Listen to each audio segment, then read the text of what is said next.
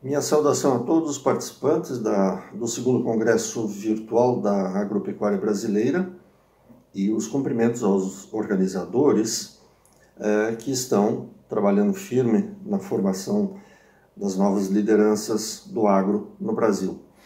O tema que nos coube é onde e como a agricultura 4.0 gera valor, ou seja, falar um pouco sobre essa esse jargão agricultura 4.0 e, e, e, e, o, contorno é, que nos últimos ano e meio, dois anos, se intensifica no nosso dia a dia.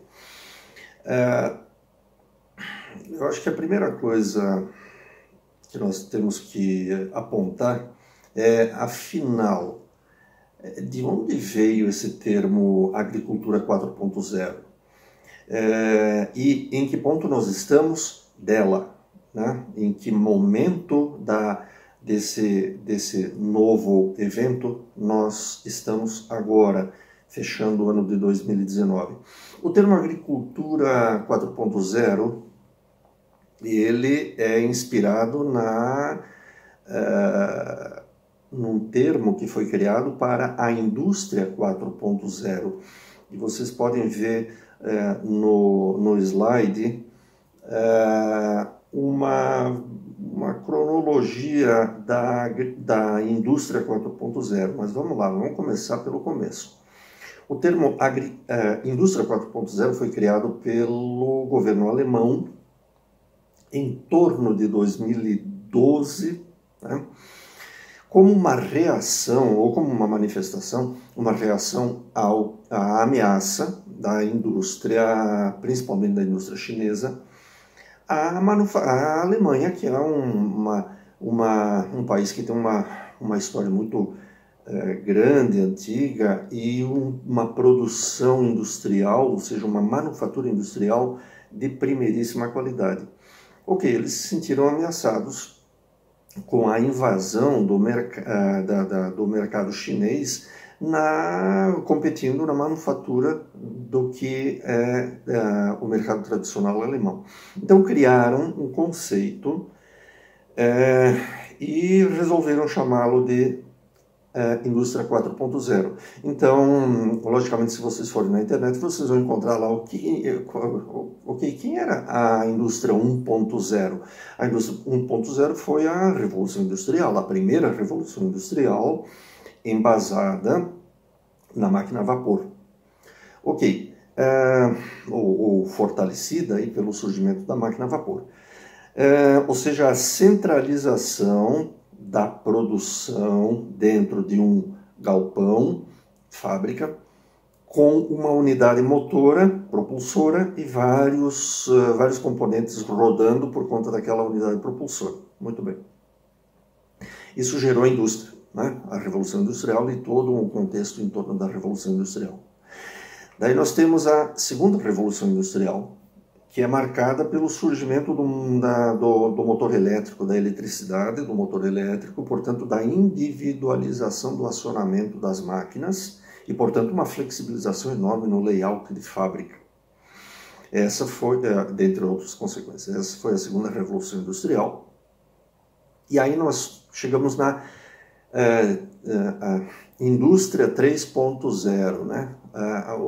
que é o marco do surgimento ou da implementação da robótica na linha de montagem, né? o robô na linha de montagem.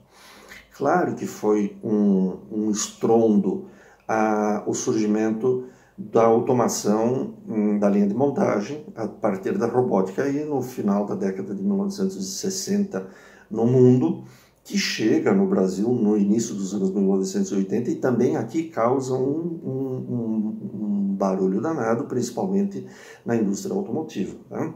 Um, o ABC deixa de ser o berço da indústria automobilística e ela se espalha uh, pelo país. Uh, e, a, a, e sem quebrando aquele paradigma da dependência de uma, de uma mão de obra específica, especialmente o impacto da robótica na linha de montagem. Ok, essa foi a a indústria 3.0. A Alemanha vem com o conceito da indústria 4.0, que é as máquinas conectadas. Todos os componentes da produção conectados e não obrigatoriamente no mesmo espaço. E, portanto, a internet uh, sendo o, o, ator principal dessa conectividade entre, as, uh, entre os, os, os componentes da produção. Muito bem. Mas e daí? O que, que isso tem a ver com, uh, com a agricultura? Uh, pois é, se a gente for olhar uh, agora, dois meses atrás, o Ministério da Agricultura anunciou, junto com o Ministério da Ciência e Tecnologia, a Câmara do Agro 4.0. E aí a gente vai ver o que, que eles utilizaram para caracterizar por que 4.0. Diz lá, bom, a, a 1.0 foi a tração animal. Até aí muito coerente. O 2.0 foi o motor de combustão e, portanto, a mecanização da, o início da mecanização, motomecanização da agricultura no mundo. O 3.0, segundo alguns eh, proponentes, seria a, a década de 1990, o surgimento do GNSS, GPS embarcado nas máquinas, o piloto automático, o melhoramento genético, a transgenia, a edição genômica, fertilizantes químicos. Mas isso tudo, então, vamos lá buscar a Revolução Verde da década de 1970. Então, a, a 3.0 seria da Revolução Verde em diante. E o 4.0, então, seria esse novo momento onde eu teria tudo dentro da propriedade, dentro da fazenda, tudo conectado, né, com o conceito da indústria tudo conectado. E daí? Bom, e daí uh, nós temos uma, uma, uma certa revolução de gestão e de acompanhamento da lavoura. Mas se nós formos olhar uh, no segundo slide, ele é um slide produzido pela Keystone, que é uma grande consultoria uh, que faz, que faz uh, avaliações e, e, emite relatórios de alto nível, e um deles é esse que no, no, no, no qual ela, lá em 2014, 15, ela apontava que a agricultura 1.0, a 2.0, elas tinham outro referencial histórico, que não vem muito ao caso agora, e nós estaríamos entrando agora, é sim, na 3.0.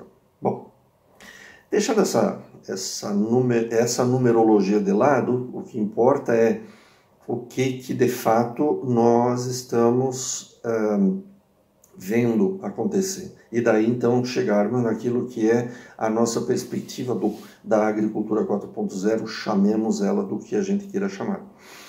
Eu gostaria de fazer uma abordagem, uma revisão de uma abordagem que eu acho muito interessante, né? para a gente entender em que momento nós, histórico nós estamos e, portanto, onde é que nós provavelmente queremos chegar. Essa, essa, essa visão ela está sintetizada aí no, no terceiro slide, que é a evolução da agricultura, onde a gente começa lá pelo extrativismo, o extrativismo, o homem ainda nômade, tá? É, coletando, portanto, alimento da natureza, para daí, em torno de 5 mil antes de Cristo, nós chegarmos na agricultura tradicional, que seria o que? O homem deixa de, de, de, ser nômade, se estabelece e tem que agricultar. Portanto, vai, vai domesticando é, vegetais e animais e se torna um produtor. É, depois nós temos a agricultura moderna, que seria uh, aquela, essa que é uma outra visão tá, de outros pensadores. A agricultura moderna, que seria aquela então do, na virada da motomecanização da agricultura no mundo, não no Brasil. Tá? A motomecanização no Brasil teve um marco muito, muitos, algumas dezenas, uh, décadas depois daquela do marco mundial, que é em torno de 1900.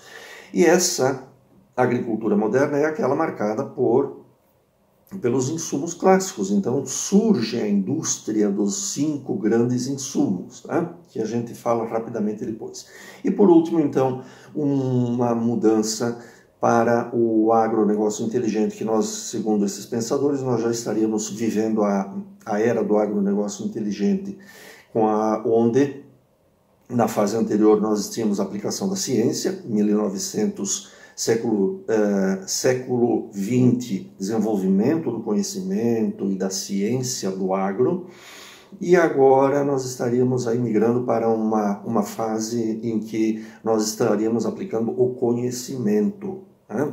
Muito bem, rapidinho, uh, nesse contexto nós estaríamos aí uh, não mais uh, tendo os insumos como o grande player, os insumos continuam existindo, mas não como o definidor, e sim outros, outras características, tipo a informação, a biotecnologia, a criação né, de fatos novos e a integração desse conhecimento é, novo. Aquela transição primeira foi muito longa, a, a, transição segunda foi mais longa, muito longa, né, é, é, séculos e séculos, e aí nós estaríamos eh, agora numa transição abrupta daquela agricultura moderna para a agricultura, para o agronegócio inteligente. E isso uh, nos deixa intrigados, porque basicamente na agricultura moderna nós tínhamos os fertilizantes químicos, os agroquímicos, uh, as máquinas, a mecanização, a irrigação e as sementes. Esses são os, os cinco insumos uh, básicos da agricultura. Por que, que eu destaco as sementes? Porque as sementes é o único segmento da indústria que já migrou para a etapa de cima do agronegócio inteligente, ou seja, a indústria de sementes já conseguiu embarcar a tecnologia na semente. E, portanto, ela já migrou. Aqueles de vocês que, que perguntam para os seus de casa quanto custava um saco de semente de milho há 15 anos atrás, né? e quanto ele custa hoje. É disso que nós estamos falando. O valor subiu, sim, mas a tecnologia embarcar, embutida, uh, do, uh, o inglês chama de embedded technology, tá? a tecnologia embarcada na semente já fez a revolução que tinha para fazer. Tá? O problema é que os, os demais não conseguiram subir. Tá? E nós temos que ser bastante críticos para enxergar isso. Os fertilizantes continuam sendo uma commodity, os agroquímicos continuam sendo uma commodity e, e, e com pouca, pouca, é, é, pouca é, disruptura. Né? As máquinas estão trabalhando para conseguir vencer essa etapa e a irrigação da mesma forma. Ok, e lá em cima? Bom, lá em cima, ou aqui em cima, onde nós estaríamos hoje, ou daqui para frente, nós estamos falando de informação, de biotecnologia, de criação, de integração. Portanto, nós estamos falando de um novo momento, ou seja, quem tem o domínio da, da tecnologia da informação tem espaço daqui para frente para ser um player. Tá? É, essa é a preocupação da grande indústria dos insumos. Tá? Tirando a turma das sementes, os outros estão é, trabalhando para subir esse degrau. Muito bem. Aí nós chegamos no que nós já temos de digital. O que nós já temos de digital efetivamente? Isso está crescendo, mas nós estamos muito no início. Tá? Nós temos basicamente Uh, eu poderia apontar aqui a, aquilo que hoje nós estamos chamando de plataformas. As plataformas digitais é um termo bem recente. Tá? As plataformas digitais, que é a face mais digital da agricultura de precisão. Uh, a agricultura de precisão, uh, que surge em, na década de 1990 no mundo, chega aqui na década, no início da década de 2000, ela já era digital desde o início. Tá? Mas as, essas plataformas digitais, que é um termo desses últimos dois, três anos já é algo um pouco mais um, ousado né? e puramente digital, logicamente. Né? As primeiras tentativas uh, de efetiv efetivamente a gente juntar aquilo que é o clássico da agricultura de precisão, que é lidar com a variabilidade espacial das lavouras, e com a gestão de máquinas, a, a gestão do maquinário da, da propriedade. Uh, e um terceiro componente, a gestão operacional e financeira da, da propriedade. as plataformas digitais, neste momento, estão tentando ocupar este espaço ou se encaixar nesse espaço.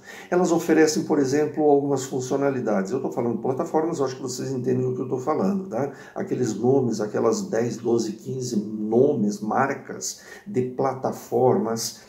E se a gente falar um pouquinho mais sem citar nomes, eu acho que vocês é, é, entendem exatamente o que nós estamos falando. Mas as funcionalidades que elas oferecem, por exemplo, funcionalidades agronômicas, monitoramento da, da lavoura via imagens, né? oferecer oferecer acesso ou disponibilização de imagens de satélite com facilidade ou mapas de alguma coisa tirado da imagem de satélite.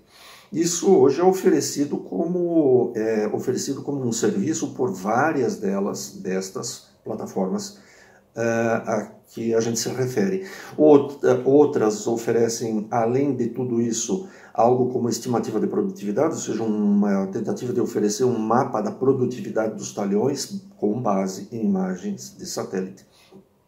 A outra informação, outra funcionalidade que muitas oferecem e, e tem sido uh, um argumento muito forte para o agricultor aderir é, são informações climáticas de alta resolução, o mais próximo possível da sua propriedade.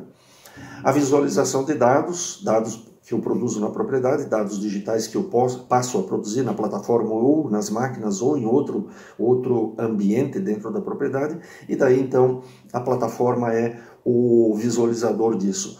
Uh, funcionalidades de gestão, a captura de dados das máquinas. Hoje nós temos um, uma, uma, uma oferta razoável de opções de plataformas que colet, capturam e coletam dados das máquinas uh, e me disponibilizam ou na nuvem, ou no, no pendrive, ou no meu servidor. De, tudo vai depender da, da minha infraestrutura, principalmente de conectividade a visualizar, em termos de gestão, a visualização é, de, dessa, do, da, da, da, do histórico das operações, da, da dada operação, para eu ver no mapa onde foi a semeadura, como foi a semeadura, qual foi a densidade da, é, é, realizada, onde estão as falhas, é, a velocidade do, da, da, operação, se o operador é, seguiu a minha determinação, tudo aquilo é, que uh, que vocês estão vendo nas suas, uh, ou ouvindo falar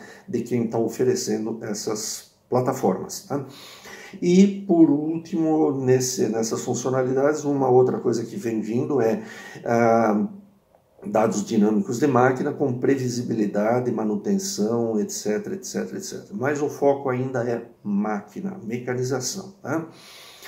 E por isso é que eu gostaria de apontar aqui uma, um, num próximo slide, o quarto slide, um exemplo é, que está acontecendo nessa, nesse mundo das plataformas. O lado máquina, por quê? Porque o lado máquina foi o primeiro e ainda é o mais denso dentro da linguagem plataforma. Tá? Lá na década de 1990, o nosso trator não tinha nada de eletrônica embarcada, nada, absolutamente nada. Né?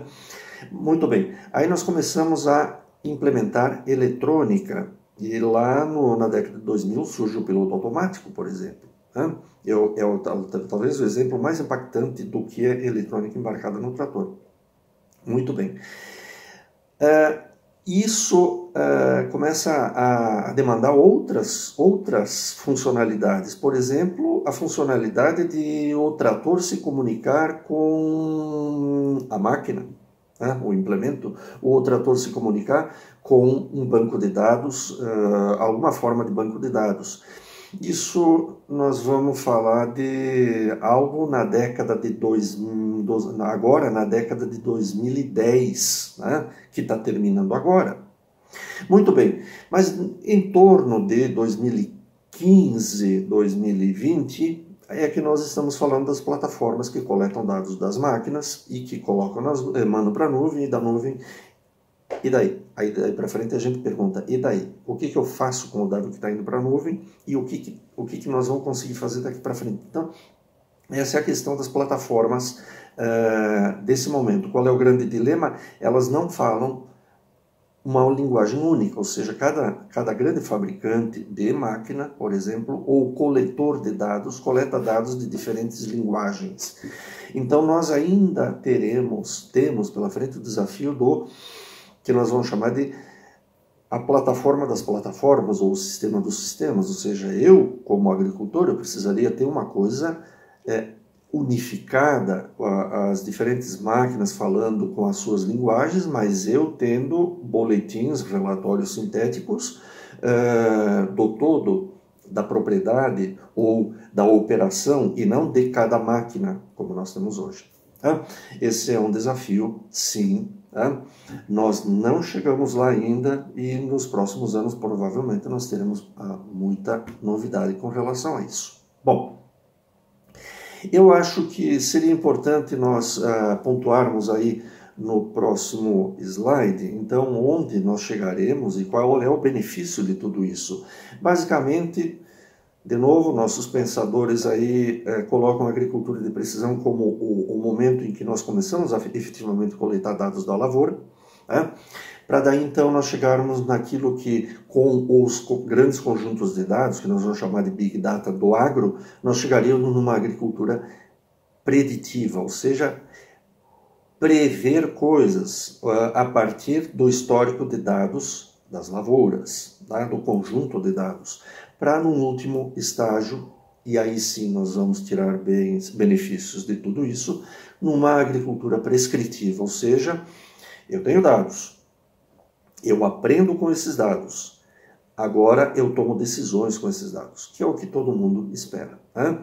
É um caminho é, que não sabemos exatamente quanto vai demorar, é, e essa, essa, essa agricultura prescritiva vai significar o quê? Vai significar nós termos efetivamente tomadas de decisão automatizadas tá? é, por inteligência artificial do aprendizado de máquina, que é o termo que é o termo que se utiliza aí na área, tá? o aprendizado de máquina, ou seja, o computador uh, que está lidando com esses dados uh, começa a enxergar a lógica das coisas e começa a dizer, bom, se eu semear do dia tal ao dia tal naquele talhão, é, com a previsibilidade que nós temos climática para esse ano, é o, é a melhor, é o melhor momento. Se eu escolher a variedade tal, se eu colocar o espaçamento tal, se eu for pulverizar amanhã, eu consigo controlar a ferrugem. Caso contrário, a semana que vem eu já perdi o controle. Esse é o tipo de, de, de, de benefício que se espera, sim. Num horizonte de quantos anos? É difícil fazer previsão. Nós estamos apenas começando, mas é esse o ponto que nós pretendemos que a agricultura chegue na geração de vocês? Muito provavelmente. Tá? É,